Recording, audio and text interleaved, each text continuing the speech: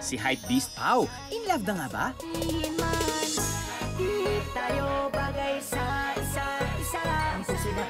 Sa edad niyang 7 years old, ito na nga bang tinatawag nating puppy love? Ikaw ang siyang kasama ko Ikaw ang hinahanap ko At ang napili kong mundo Gusto ko ikaw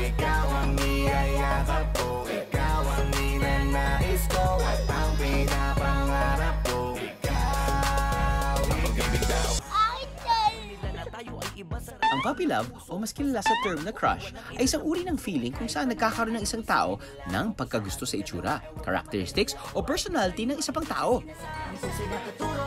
Pwedeng hindi pa ito itinuturing talaga na love gaya ng nararamdaman ng matatanda. Pero isang sigurado, kapag nakikita o naiisip nyo ang taong hinahanga nyo, kayo ay nakakaramdam ng kilig. Ang tanong, ano nga ba ang kilig? ang niyayakap ko Ikaw ang ninanais ko At ang pinapangarap Kung minsan, nakakaramdam tayo ng excitement, yung parang tumataas ang balibo natin, o parang may nararamdaman tayo na parang may lumilipad sa loob ng ating sigmura. Ito ang tinatawag na kilig. Pero hindi lang namang sa kapwa-tao pwedeng maramdaman ng kilig. Kung may paborito kayong laruan, pwede rin kayong kiligin tuwing makikita at gagamitin nyo to. Kung ano man ang hilig nyo, pwede rin kiligin kapag ginagawa nyo ito. Tulad ng activities na nagpapataas ng adrenaline gaya ng iba't ibang sports.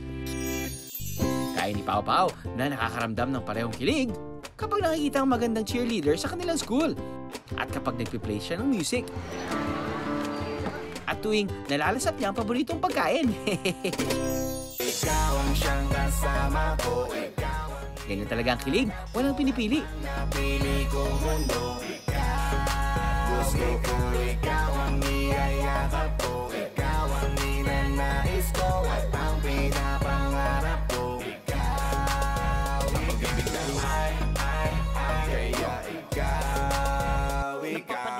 Ayon sa National Longitudinal Study of Adolescent Health ng USA, kapag na-reach ng mga batang gaya ni Pau Pau ang age na 15 hanggang 19 years old, doon na raw pwedeng i-classify ang nararamdaman niya as real love.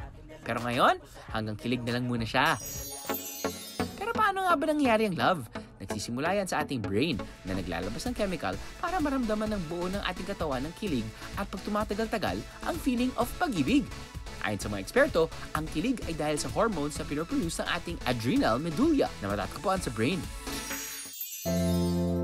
Kapag na-release ito, nagre-react ang ating katawan sa iba't ibang paraan gaya ng body language. Kaya minsan, pag kinilig ay mapapangiti tayo. Pero paalala, hindi dapat i-mistake ang kilig sa pag-ibig. Malaki ang pagkakaiba ng dalawa, okay? Di hamak na mas malalim at makahulugan ng love na karaniwang nade-develop over time. ko Ikaw ang hinahanap ko At